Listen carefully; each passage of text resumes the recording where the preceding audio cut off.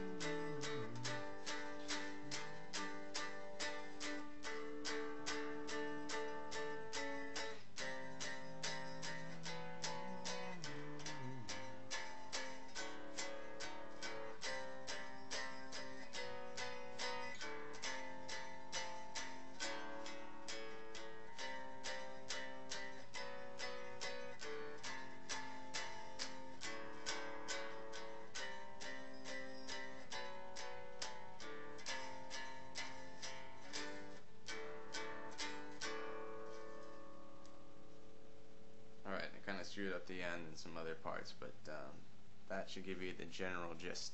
Thank you.